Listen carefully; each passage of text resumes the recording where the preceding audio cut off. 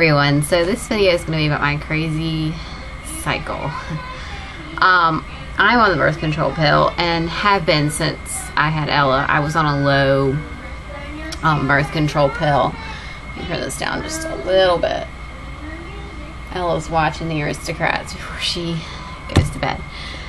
So anyways but I was on like the low dose birth control pill when I was breastfeeding Ella and then when I got when I stopped breastfeeding I went on the um, Ortho Tri-Cyclen. Well, Ortho Tri-Cyclen made me really sick. So, um, I went on Ortho Tri-Cyclen low, and I've been doing really well on that. I'm taking it just fine, and you know, my period comes when it's supposed to, and um, I don't have any symptoms really with that birth control pill. If I take two like at one time, I'll get sick and have like nausea, but that's just normal for me because I get nauseous at like the temp of a hat, you know. So, anyways, but I lost from June until now, I've lost like eight pounds, and I've lost that fairly quickly. And I think this is the reason my cycles have become crazy. So in July, my period came like a week early, which is just really unusual for me. Um, I am usually always like, you know, when I hit the green pills, like that Monday or Tuesday is when I usually get my period. And, you know, I've been regular like that for a couple months now, actually, because before when I was working night shift, um, I was taking the pills all crazy and missing pills and my periods and cycles. Yeah, everything was just really messed up because I wasn't taking my pills like I was supposed to. And thank goodness I didn't get pregnant that time because I wasn't really ready for that at that moment. Um, so since getting my new job about, well, it's not really new anymore, about a year ago now, um, I have been doing well on my pills, taking them every night at the same time. I take them around like, you know, 10, 11 o'clock. So anyways, but last month was a little unusual and I got my period a week early. I hadn't even gotten my green pills yet. I had just started the dark blue ones, I think it is, or either light blue, I can't remember, it's blue.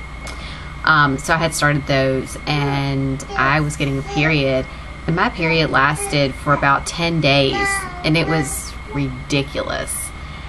And so um, now it's August and I'm like, well, maybe I'll go back to my normal cycle, my normal 28 day birth control scheduled cycle, birth control pill scheduled cycle.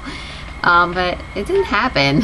Um, or at least I don't think it's going to because I'm having PMS symptoms right now, like the really emotional crying and um, and whatnot. My husband had mentioned about a car accident that happened and the driver died, or it was a motorcycle accident, and the kid was like 19 and he died. And I just like started bawling in the car.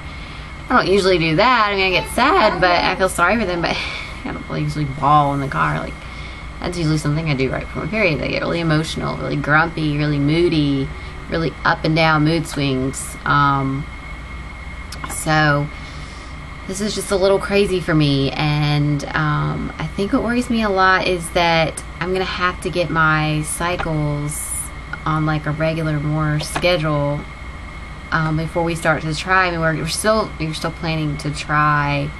Um, at the end of September. And I know I said that, you know, the pre-TTC video was going to be the last video about pre-TTC, but I thought I'd just, you know, um, tell you guys about what's going on. And um, we're still going to try in the end of September, but I really highly doubt that I'll get pregnant because, uh, more highly doubtful now because um, my cycles right now are just um, totally off.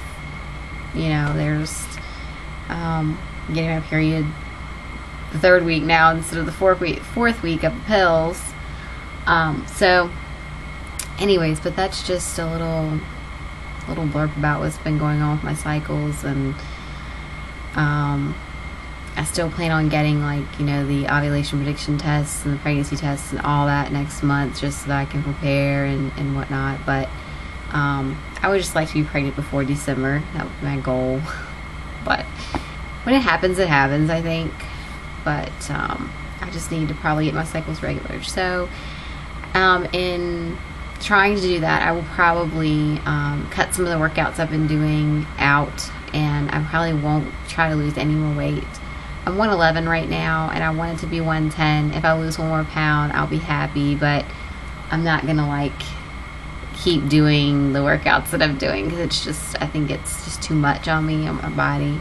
I walk two miles a day and I do active two for like an hour when I come home. So and you know I only eat 1,200 calories, which you know that's what supposed to eat when you're dieting and really all the time. So I um, have decided to cut down a little bit on the walks and cut down a little bit on the um, exercising and just try to stay at one steady rate or steady weight. Sorry, can't talk tonight. One steady weight so that um, I can get my cycles back on track and start regulating things, especially when I go off the pill. That's going to be kind of a shock to my body, too. Um, it took us six months, six or seven months last time when I got off the pill with Ella. Of course, um, if you want to know a little more about that with my TT, TTC story with her, um, I do have a video on here. If you just um, go in the search box and type my TTC story in the search box on my channel, you will find it. I might put a link down at the bottom so you guys can see it. Um, I think that's about it, really. If you guys have any suggestions or comments, or if this has happened to you guys, just let me know. Uh, hoping this is not a permanent thing. Um, I'll update you guys if I do get my period um, this week, which this is the week that I got it last month, I got it a week early hoping that you know it will um, come when it's supposed to on the green pills and not when it's not supposed to. So anyways uh, thanks for watching and leave your comments below